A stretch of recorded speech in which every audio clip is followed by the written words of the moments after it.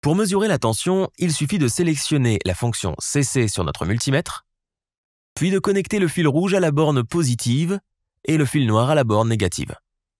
Cela nous donnera une lecture de la tension. Vous pouvez voir que cette pile est évaluée à 1,5 volts. Mais lorsque nous la testons, nous obtenons 1,593 volts. Les deux valeurs sont proches mais généralement pas identiques. Lorsque la pile est morte ou mourante, nous obtenons un voltage inférieur. Celui-ci est de 1,07 volts, donc elle est totalement morte. Cependant, nous pouvons parfois obtenir une tension d'environ 1,5 volts même si la pile n'est pas utilisée. Pour tester complètement la pile, nous devons la tester en condition de charge pour vérifier si elle est toujours utilisable. Pour cela, nous avons besoin d'une résistance. Nous prenons donc une résistance d'environ 100 ohms, qui n'a pas besoin d'avoir exactement cette valeur. Et nous connectons la résistance entre nos deux sondes. Dans ce cas, j'ai juste utilisé des pinces crocodiles pour connecter la résistance entre les sondes comme ceci.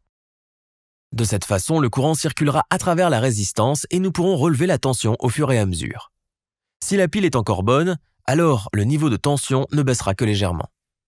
Par exemple, cette pile a une tension nominale de 1,5 volts. À vide, elle est de 1,593 volts. Avec la résistance connectée, nous lisons 1,547 volts, donc cette pile est encore bonne. Cette pile a également une tension nominale de 1,5 volts.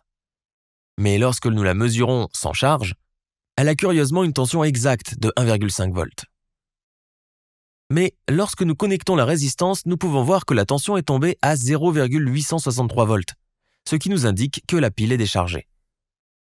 Ok les gars, c'est tout pour cette vidéo, mais pour continuer votre apprentissage, regardez une des vidéos à l'écran maintenant et je vous y retrouverai pour la prochaine leçon. N'oubliez pas de nous suivre sur Facebook, Instagram, LinkedIn ainsi que sur theengineeringmindset.com.